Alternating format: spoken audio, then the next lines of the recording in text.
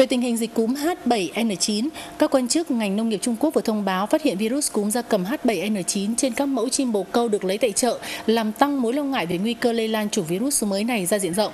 Hiện số ca mắc cúm H7N9 tại Trung Quốc vẫn tiếp tục tăng lên và đến hôm nay thì số người nhiễm virus H7N9 đã tăng lên là 14 người, trong đó đã có 6 người tử vong. Các phóng viên à, thường trú truyền hình Việt Nam tại Bắc Kinh Trung Quốc vừa gửi về.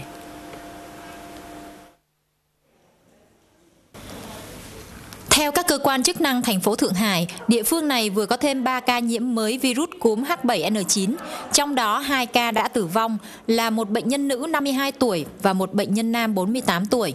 Điều đáng nói là trong số 31 người có tiếp xúc với bệnh nhân nữ đã tử vong, một người có biểu hiện sốt, ho và chảy nước mũi đang được cách ly điều trị. Những người còn lại được giám sát chặt chẽ. Như vậy, đến thời điểm này, chỉ riêng thành phố Thượng Hải, Trung Quốc đã có 4 ca tử vong do nhiễm chủng virus H7N9. Hai trường hợp tử vong còn lại đều ở tỉnh Chiết Giang. Virus H7N9 giống như các loại virus cúm gia cầm khác đều có nguồn gốc xuất phát từ gia cầm. Tuy nhiên đến hiện nay, nguồn lây nhiễm của H7N9 vẫn chưa rõ. Thường hầu hết các bệnh truyền nhiễm lây qua đường hô hấp, nhưng chủng virus này có lây qua đường hô hấp hay không, chúng tôi vẫn chưa tìm thấy bằng chứng nào. Theo Tân Hoa Xã, hôm qua Phòng Thí nghiệm Bệnh cúm gia cầm quốc gia Trung Quốc đã phát hiện chủng virus cúm H7N9 tìm thấy trên chim bồ câu, được lấy tại một chợ bán các mặt hàng nông sản ở Thượng Hải.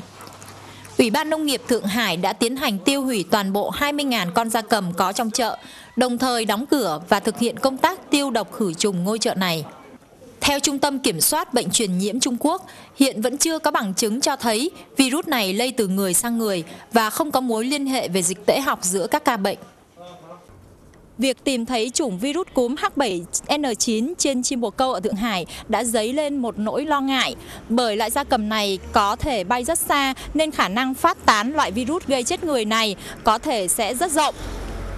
Và đây không chỉ là mối lo ngại của chính phủ và người dân Trung Quốc mà còn của các quốc gia láng giềng, trong đó có Việt Nam chúng ta. Việt Nữ, phóng viên thường trú đại truyền Việt Nam tại Bắc Kinh, Trung Quốc.